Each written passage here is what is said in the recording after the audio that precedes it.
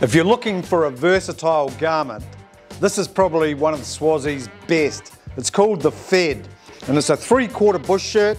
It's got a half zip on the front, kangaroo pockets with zips either side so you can put your stashables in there and tighten it up nice and secure.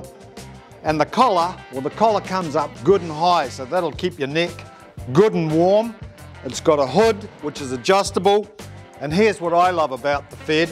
It's got reinforced shoulders, okay? And they're not only reinforced, this Chinook fabric, well, it's got a membrane in it. So it's water resistant. All that water falling on your shoulders just goes straight off. And the back, the back is scalloped and reinforced with the Chinook as well. So along with the 350 gram fleece, comes in four great colors. Tussock, black, camo, and bright orange. It's versatile, it's durable, it's comfortable, and this one's mine.